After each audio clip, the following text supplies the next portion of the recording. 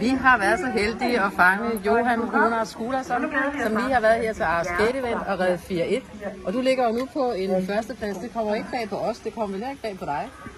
Øh, man har jo altid visse forventninger både til øh, sig selv og den der stjerne hest. Så, men uh, jeg er glad for, at det gik godt. Jeg har ikke været stævne, veldrække stævne siden Berlin 19, så det er jo snart over to år siden. Og det er lidt svært at komme i gang.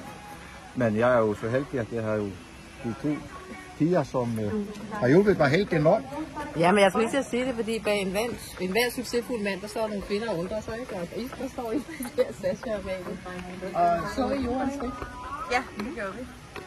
Og hvad synes du, Sascha? Du var også øh, med i 2019. Ja. Synes du, han gjorde det godt? Ja, det gør han bestemt. Men øh, vi har også hjulpet ham, det, er derfor. Det er derfor. Det var ikke gået så godt uden den. Han, han gjorde, som I havde sagt, han skulle. Ja, det han bestemt. Ja.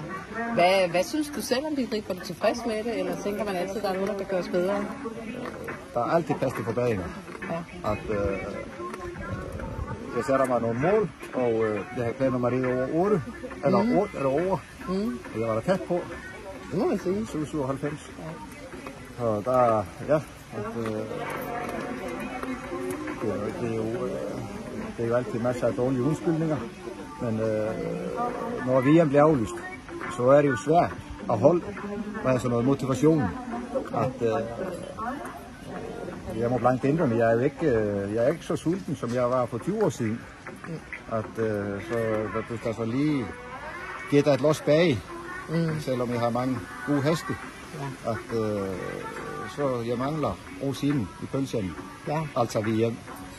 Og endnu en gang er jeg nødt til at sige, der er ingen forståelse, hvor det bliver aflyst. Men når det nu blev aflyst, og det var jo rigtig, rigtig ærgerligt for, for mange af os. Synes du For så alle. hvad synes du så om det stævne, der er lavet her?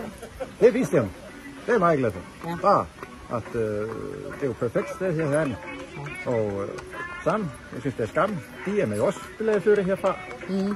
At, øh, og, øh, det, det, det, det, det forstår jeg heller ikke. Men øh, nu kommer der forhåbentlig en masse gode stævner, og der er vel masser af, af stævner i Finnborg i stadigvæk. Ja, ja, Finnborg er kun øh, 11 år, Mm. så vi er bare lige begyndt. Og hvad med de der unge piger? Skal de også følge med? Dem er der også mange gode år i nu, tror jeg. de er, det er samme, de er også lige begyndt. Er, er, I, er I friske på at blive ved med at hjælpe den der ældre herre? Ja, så længe han har brug for det, så, øh, så skal vi nok hjælpe ham. Ja, det gør vi. Og øh, I har altså også selv heste med. Ja, hvordan er det gået med dig, Amalie? Det er gået fint nok. Får man sådan lidt ting af, så det er altid rart at få både. Hvordan er dig, Sancho? Det er også gået så fint. Det, øh, det er gået super. Så alle er glade. Ja, det er vi. Hvad med dig, Finn Bowie? Er du tilfreds? Tilfreds? Han vil nok have det. Øh, det er nok bedst, at tage spise den der mikrofon, hvis det kan lade sig gøre. Jeg så den mærke og hjælper derovre. Morten Nielsen. Ja, Han Du har- du har- øh, du har kæmpe meget. stor hjælp. du har, du har mange til at hjælpe dig.